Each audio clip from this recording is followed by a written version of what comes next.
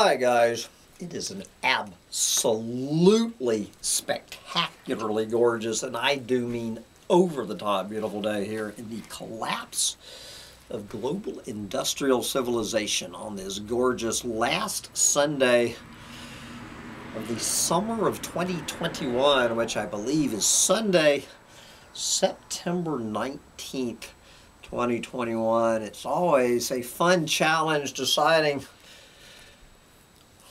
on what to read for my Sunday Doomsday sermon. So, again, I'm coloring a little bit out of the box, uh, out of the box today uh, here at Collapse Chronicles, where somehow can't even remember how my attention was drawn to this book. Actually, came out in 2014 under my radar which isn't exactly about uh, the collapse of global industrial civilization and the planet, uh, although it dances around. I just think it's a good read. And I just, I'm about halfway through the book. Uh, and this is from this fellow named Chris Wright and uh, W-R-I-G-H-T. I know that I've read other books by Chris. I just can't remember. So Chris uh, is basically a, a kind of as I consider myself. He is a far, far lefty. All right, he's basically, he is a huge fan of Noam Chomsky. So if you essentially are in the Noam Chomsky, Chris Hedges, Caitlin Johnstone camp. This fellow is like a mixture of, if Chris Hedges had a better sense of humor, uh, I see some Morris Berman in the guy. So if you're not uh, familiar with the works of author uh, Chris Wright, maybe this will get you over there. So anyway, this is his book from 2014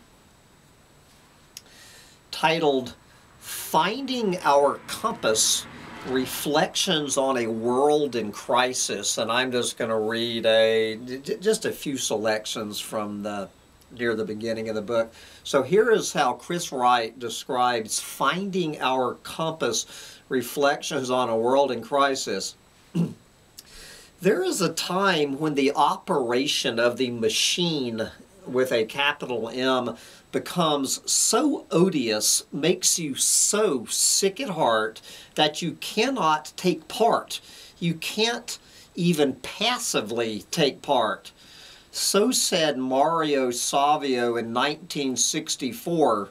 So, so say millions of the disenfranchised now as the apparatus of elite institutions grinds on, pushing society to the brink, protesters across the world are putting their bodies upon its gears and its wheels to open up space for freedom and creativity unconstrained by institutional structures.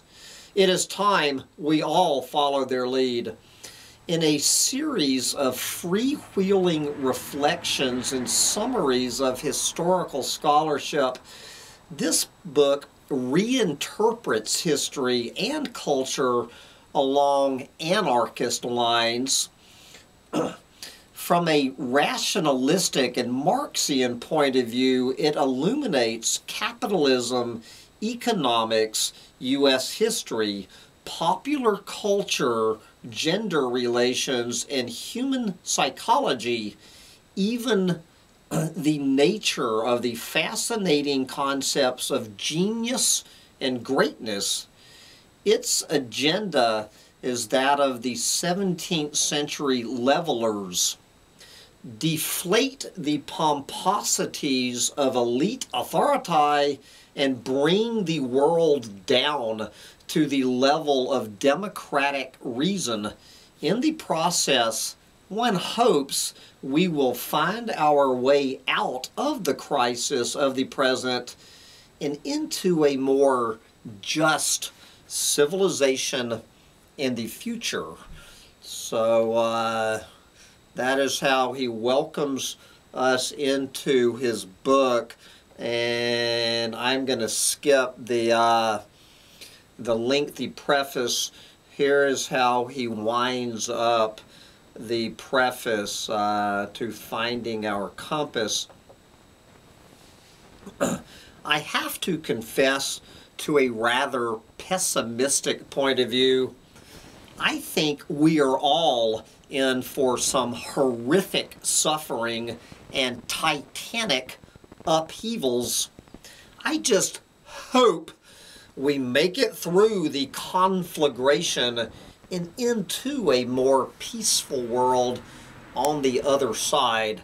So, uh, you know, Chris has a little bit of hopium uh, in here, which I'm not quite sure he believes in himself. So what he does, uh, what this is, if you're familiar with what Caitlin Johnstone does on Notes from the Edge of the Matrix, basically what he what what this is is a is just a series of essays on uh, all of these various subjects, just him discoursing and ranting.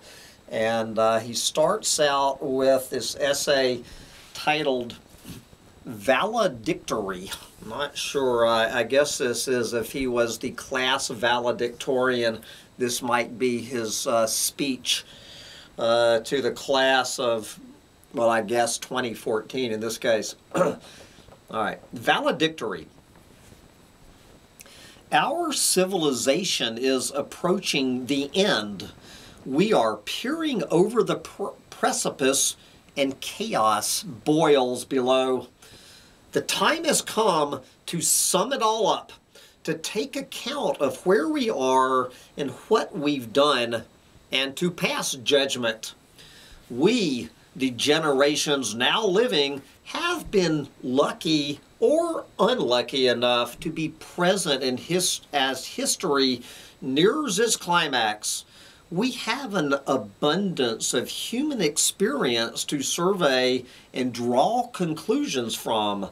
Conclusions to pass on to posterity as it surveys the even more breathtaking ruins we will leave we want to go out with some dignity, with positive lessons to impart to our descendants so that they know not all of us were idiots. We have lived long enough to learn life's truths. We have suffered enough to be wise. Let's cast our glance from the future to the past and grasp the threads of human thought while there is still some link between what was and what is, some memory of what is rapidly fading. Perhaps some future explorer will discover our buried treasure, our Dead Sea Scrolls, and read about lost worlds and be carried away by tales of our folly and adventure. In the meantime, a few glimmers of honesty and perspective may light up our world and reveal it to itself. so anyway, basically where the majority of this book goes is basically how we got ourselves into the mess we're in. He doesn't make so many predictions about the future, uh, about where this is all eventually going to end, other than obviously he is generally pessimistic, even though he offers some false hopium here. So anyway, guys, I'm just going to, so we're basically talking about how he got in uh, in, in, this in this uh, in this mess. Um,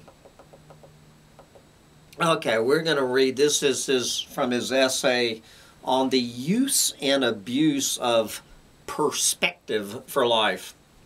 There are delights and dangers in adopting a broad perspective on oneself and one's society. Looking at the big picture can either electrify or paralyze one's will. The latter possibility, paralyzing one's will, is obvious. Given, for example, the big picture horrors of global warming and capitalist global pollution, oceanic garbage patches the size of continents, slums the size of cities, cities disintegrating into slums, and a planetary future incinerated in the vortex of capitalism are not things that quicken the will to live. Internecine violence running riot from Mexico to the Middle East, from Central Africa to Russia, as governments outdo each other in the art of cultivating murderous resentments, does not inspire confidence in one's ability to make meaningful change. Despair on a cosmic scale, encompassing life from a low species already from low species already extinguished to high species threatened with extinction suffocates optimism of the will, pessimism of the intellect alone remaining. The added burden of such modern afflictions has done nothing to ease the ancient burdens philosophers and poets have bewailed since the Upanishads, whoever that is. Earth is a pale blue dot in the infinite expanse of desolate space. What matter our little earthly tribulations or triumphs? Someday we'll all be gone. Earth itself will be gone, and it will be as though nothing ever was. Obviously, this man is also a big fan of Schopenhauer and Nietzsche. Uh,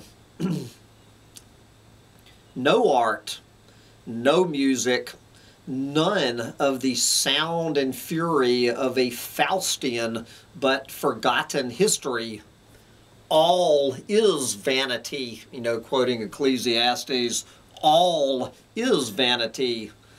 The flower of youth wilts, as poets have lamented for millennia, withering into a decayed old age, and finally, death. Pleasures are evanescent. Time consumes all, like Saturn devouring his children. The transience of everything makes life seem meaningless, as does, in another way, the immensity of Earth, however microscopic even it is on the cosmic scale. The prodigious mass of humanity compared to which the individual is too puny to mention. People come and go like flies. The plaintive cry of Ecclesiastes, all is vanity, still resonates 2,000 years later. Yes. On the other hand, this is where he attempts some hopium. On the other hand, the big picture need not be utterly demoralizing. To contemplate the grandeur of the universe can be a nearly religious experience, Kantian in its sublimity. This is quoting Kant. Two things fill the mind with ever increasing wonder and awe. The more often and the more intensely we reflect on them. The starry heavens above me and the moral law within me, close quote. one feels vanishingly, vanishingly insignificant but gloriously exalted at the same time, uplifted to dazzling infinity, as one glories in the ability to reflect on this black, unbounded cosmos. The relative immensity of Earth, likewise, and one's being a mere momentary individual among, among billions fills with wonder and awe, even love for all our fellow creatures stranded inexplicably on this floating island in space. Time itself overalls, translucent as a pellucid mountain river the life engendering flow of time carries us along to experience the beauty of change. The broad human perspective illuminates hope and the reality of change. Um, okay, but again, guys, I just uh, I would love uh, to stick with this one, but we're going uh, to move ahead uh, to what one am I going to pull through, pull from now? Uh, this is from his essay titled Götterdämmerung. Götterdammer, I guess that's German for goddamn, I don't know. Anyway, uh, I see, I don't get a lot of this man's references, I have to admit, guys. So anyway, this is from the middle of his essay, Götterdämmerung. Uh, he starts off quoting Camus. Okay, He's talking about philosophy uh, in this essay. The verbose perverseness that passes for philosophy now signifies a perversion of the human spirit, a discursifying of it, a domesticating, institutionalizing of it, perversely appropriate to a society that has repressively desubliminated all that is profound and creative in life. The late capitalist categorical imperative of our culture, I guess he means pretty much culture anywhere on the planet, the late capitalist categorical imperative of culture is to trivialize at all costs and for all profits to privatize, atomize, marketize, professionalize, impersonalize, and stupidize all in order to replicate and accumulate, to replicate and accumulation institutions and a new man Homo bureaucraticus or ultimately Homo economicus. Certainly, philosophy of all things cannot flourish in such an environment, nor can anything else that demands to be free and unconstrained by institutional limits. The existentialist cry of the mid 20th century followed by the barbaric yawp of the 60s youth movement, preceded by the anti-capitalist vibrancy of labor movements in their heyday and earlier romantic culture for the modernity ambivalent elite and Saturnalian revelry for the untamed multitude has died. Or faded from cultural prominence, but its echo cannot die until humankind itself does. The cycle continues, and we are about to see another of its revolutions. And we will see what that looks like. Uh, okay, here's a very short uh, essay, one paragraph, titled Modernity versus Humanity. Herbert Gutman's work, culture, and society in industrializing America from 1815 to 1919, published in 1973, reminds us of what a rich world we lost with the standardization and atomization of society. Such diversity and humanness artisanal craftsmanship and pride, freewheeling festivals of life outside the factory. Actually, already in the mid 19th century, the dehumanization was apparent, according to Mike Walsh in the 1840s, quoting Mike Walsh, whoever he is, quote, a gloomy, churlish, money worshipping spirit had swept nearly all the poetry out of the poor man's sphere, said the editor, uh, the editor politician. Ballad singing, street dancing, tumbling, public games all are either prohibited or discountenanced so that the 4th of July and election sports alone remain that was written in the 1840s. local and national, back to uh, Chris, local and national power structures pressing the masses into dull rectangular shapes, the nascent nation state suppressing local variety, spontaneity being dangerous to centralized power.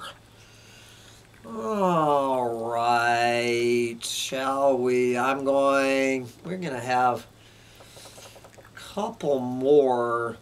Um, as a, this is a 350 uh, page book. Uh, okay, we're going to look at what he calls, uh, we're going to look at modern institutions. At the other end of the spectrum, uh, you know, from the good end of the spectrum, are modern institutions. Humans, it turns out, are capable not only of play, but also of dull and dead seriousness we have the capacity to obey authority and to imbibe its individuality denying, repressively collectivistic norms. We join institutions or are subject to them to the impersonal rules that dictate how we are to act and think. And without even noticing it, we participate in the near extirpation of our individuality. The self effacing, amoral, mechanical mentality of the typical bureaucrat is the obvious example, uh, which, as Hannah Arendt observed in 1963, can lead straight into complicity in monstrous crimes. But more benign manifestations of this exist. Theodore Adorno already remarked in the 1940s that, quote, even the so-called intellectual prof- professions are being deprived through their growing resemblance to business of all joy. Atomization is advancing not only between men, but within, within each individual, between the spheres of his life, close quote, back to Chris. In leisure time, one might still play and be creative, though mass produced culture was sapping even leisurely pursuits of their authentically creative and spontaneous element.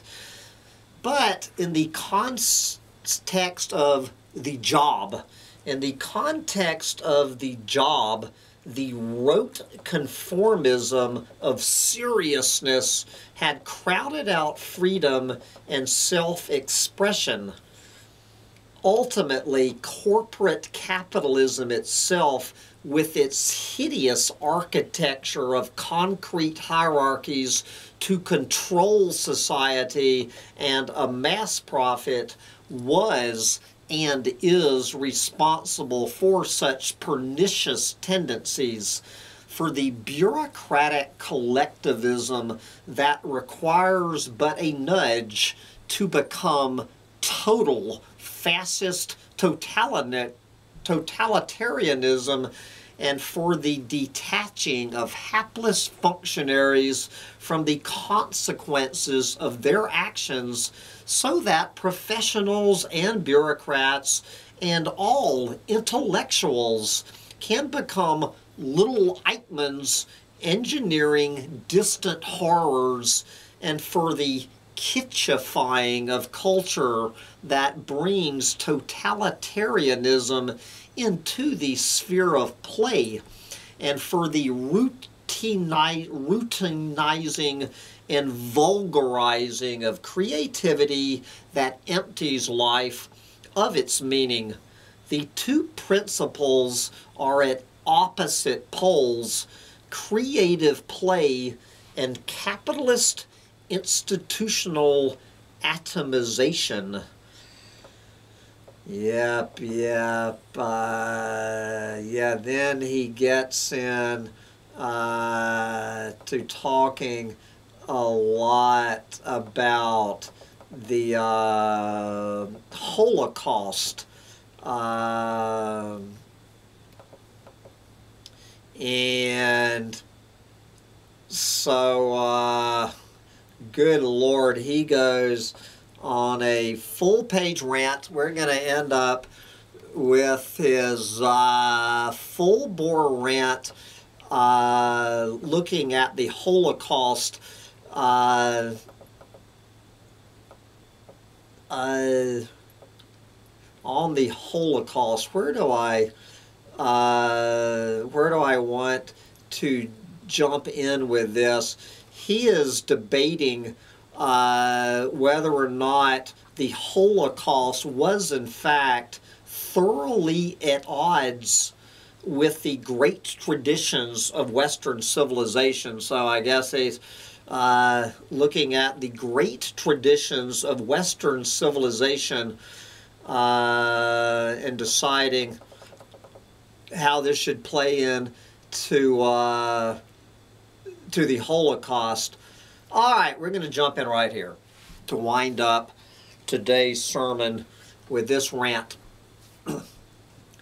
More pertinent is the fact that for centuries, the West, meaning Western, for centuries, Western civilization, what are talking about here, has been more committed to quite different values such as insatiable greed, plunder, and enslavement of foreign peoples, genocide of native populations, vicious exploitation of wage laborers, murderous hatred of the other, ever increasing policing of society, and atomizing bureaucratic collectivism that dehumanizes everything it touches.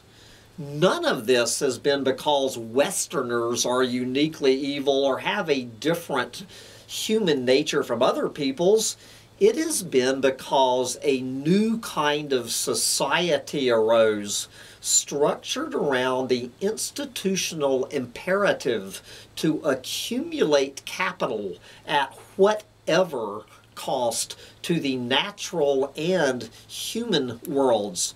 at the same time as horrific tendencies of racism and nationalism gradually developed under the influence of an internationally organized imperialistic capitalism trends of depersonalization, regimentation, authoritarian control, and monitoring of populations, and manufacturing authority friendly popular attitudes through propaganda grew more pronounced.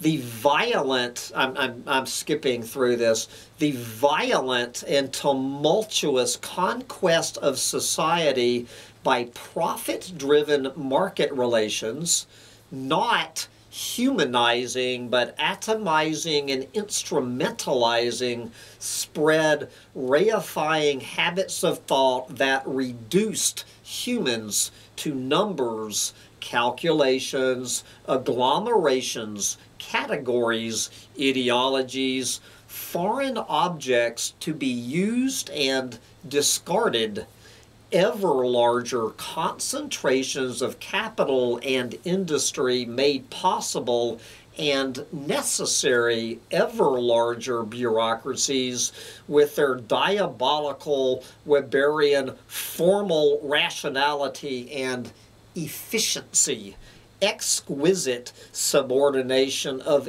every human impulse to the order from on high, the administrative rule the technique for the smooth functioning of power. Corporate capital and national governments matured together, intertwining in their policy formation and administrative machinery the interest of one often becoming the interest of the other, each requiring for the sake of its power that social dissent be regulated or eradicated and domestic capital continue accumulating. In an over competitive capitalist world, the obsession of big business with big profits led to nationalistic protectionism, tariff wars, conquest of colonial markets, the scramble for Africa, an international arms race that exalted blood and iron as supreme values, and ideologies of national and racial grandeur to justify all of this imperialism a brutalization of the human spirit proceeded apace, particularly as savage colonial wars and amoral colonial administration trained bureaucrats in the efficient use of pure violence to attain the ends of power. Anyway, guys, I think you get the drift. And he goes on uh, for several hundred more pages. But anyway, I'm going to put the link on here because I just went on the link and the entire book, um, the entire book is available for free. So uh, if you were inspired by anything you just heard, uh, all you got to do is go on this link and I think it will take you into the rest of this book. But anyway, we're going to wrap it up here and say, uh, say amen to, uh, to Chris. Well, I cannot, uh, already forgotten the name of Chris's book. Finding Our Compass Reflections on a World in Crisis by Chris Wright. And you can go on this link and uh, take it from here. But it is a spectacularly gorgeous day here in the collapse and uh, I am being invaded by some noxious weed called slippery dock. So I have to go declare war on slippery dock while I still can. Get out there and enjoy your last summer Sunday of 2021. Bye, guys. All right, little dog, you survived.